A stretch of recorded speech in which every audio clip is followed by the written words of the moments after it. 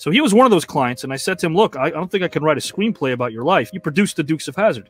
And I said Yeah. to him, "Look, this is you want me to put this in the book? You're gonna get blacklisted." Here's what he told me. He said, "I won't. You know why?" I go, "Why?" He goes, "Because I'm on my deathbed." I said, "So you want people to remember you by this, by all these kind of sensationalistic stories?"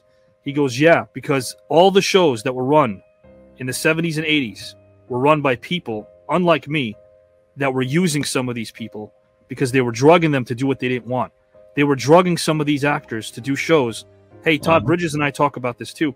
They were drugging them for to, so they could stay in for longer contracts. They were setting them up with their own psychologists. They wanted syndication. How do you get syndication? You have to have a long run. Thank you so much, guys and gals and pals, for enjoying this video and watching it. If you love the content, if you're enjoying it, please like the video, leave a comment, subscribe to our channel, and make sure that you know that we know that the Knew Network is on the rise. Thank you for being who you are.